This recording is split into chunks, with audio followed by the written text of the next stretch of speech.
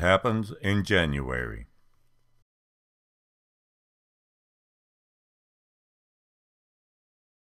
say that, Deric. It's kind of like a game show host. Like you expect, like wrestling to start after Yeah. I say it. This wine is very I like good. this wine bar business. Yeah, me too. This is really nice. I'm not cold at all. Music and wine.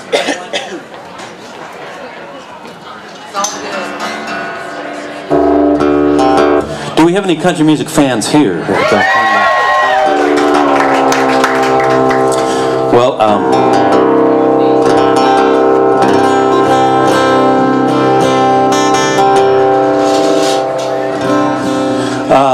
I, uh, you know, as country music songwriters in Nashville, we often get the opportunity to go in and write. The hell's that noise? It's a fan belt or something. They When it goes away, I'll, I'll you know, I'm not going to compete with that nonsense. I certainly can. Something I need to. Waiting on a parking lot. Okay, I'll just start. There we go. Thank you. Um, as uh, country music songwriters in Nashville, we often get the opportunity to go in and write with artists who are making records. And uh, when that happens, it's a great opportunity, you know, for you and your family. If you write a great song, the hope is they'll record it and they'll put it on the radio. You, you all know that. Well, I was um, I was writing with a new guy. This is uh, back in about 2006 or seven. This is a new fellow who had a new deal on Capitol Records, brand new artist, made his first record. Uh, his name was Eric Church. And uh, Eric uh, was making this first record. We wrote at the same publishing company, and we, we had become friends. And so we we had uh, we wrote our first song. And I came home to my wife, who's also a songwriter, and I I told her what the you know what the what the name of the song was, and and she she didn't you know she didn't say anything. She didn't say, well, that's cool, or that you know she just kind of said, hmm.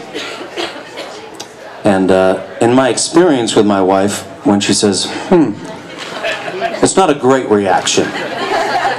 And uh, I said, what? She said, well, that title, I mean, is it, is it guys like me or guys like me? I, said, I don't know, and I don't, I don't know what to even make of that. But uh, I said, please don't say anything about this to Eric. I want him to actually record the song. But anyway, he uh, he recorded the song. It was on his uh, first record. It was his third single, and uh, was a top. Uh, I don't know, got to 13 or 14 on the chart. A song called "Guys Like Me" goes with it, or "Guys Like Me." Doesn't matter.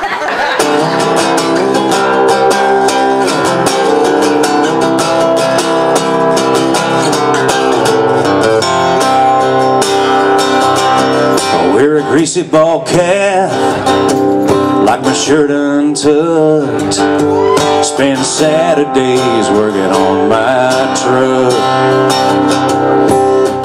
The irony of singing this in a poshy wine bar at this swanky uh, beachside. Uh, anyway, just let's just pretend this is moonshine and we're all just uh, gap-toothed rednecks, all right? You really forget the words and you're just starting over so that nobody knows. Well, they know now. Wear a greasy ball cap. Thanks a lot. Like my shirt untucked. Spend Saturdays working on my truck. I don't like to fight, but I ain't scared to bleed. Most don't mess with a guy like me. These guys like me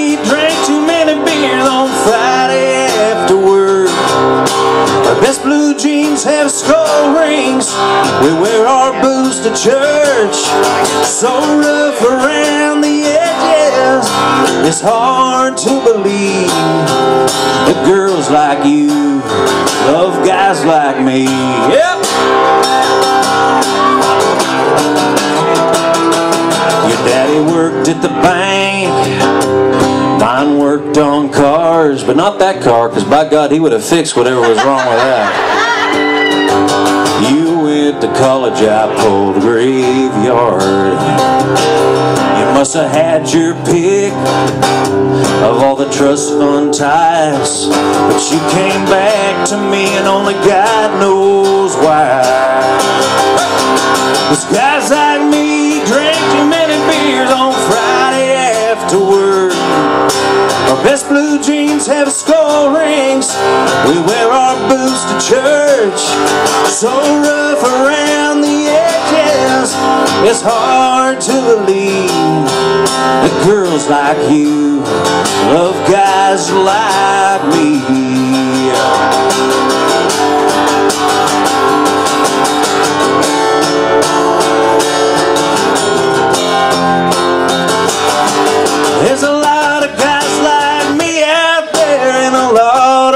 Towns Telling all our buddies we won't ever settle down.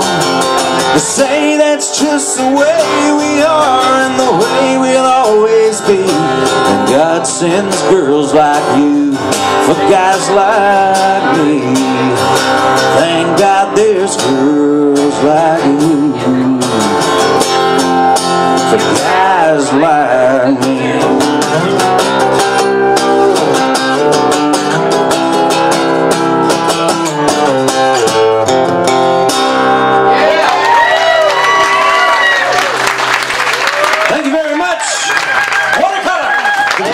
Um, when I was a, uh, a kid, I wanted to be a flight nurse, and I grew up and I was a pediatric nurse, and uh, I just happened to fall into my dad as a songwriter, and um, he's a, been in the music business my whole life, and when I was a kid, I I went the rap route and uh, and avoided country music at all costs. And uh, I grew up with Vern Gosdin literally sitting in my living room floor. And uh, I wish I could rewind and sit there and watch instead of being in my room going, I wish they'd shut up. um, but um, I, I, two things I never thought would happen to me in my life. I never thought that I would be sitting on a stage like this, and I never thought I would get a cut by Marie Osmond but I did. Here I am, and I here's the song that she cut. It was on the last, the Donny Marie record that they just had out.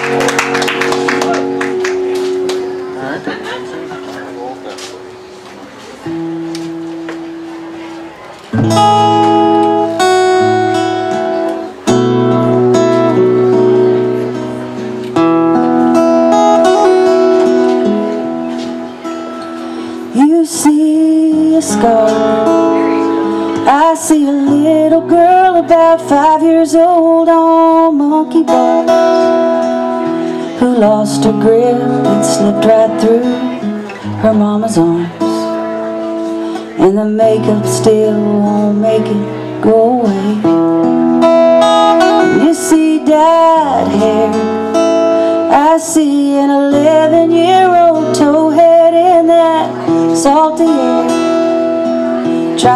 poise. Those teenage boys were everywhere. Dad sure had fun scaring them away. In my reflection, hidden underneath the imperfection, are the stories of my life and all its lessons. See what you can't see in my reflection.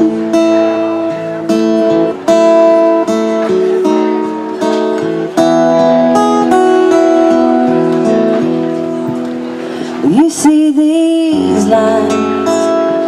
I see a carload full of my best friends on Friday night. Staying out too late and laughing till we cry. Wouldn't trade a single wrinkle for those days. In my reflection,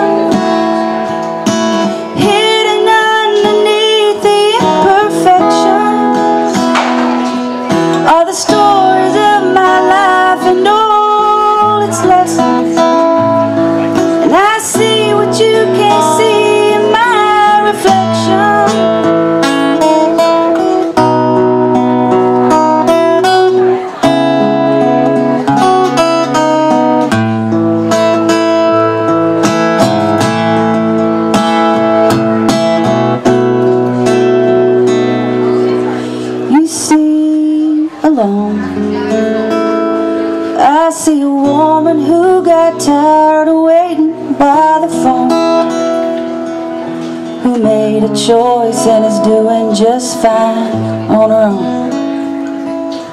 And you can't look until it was a blessing. But I can see what you can't see in my reflection.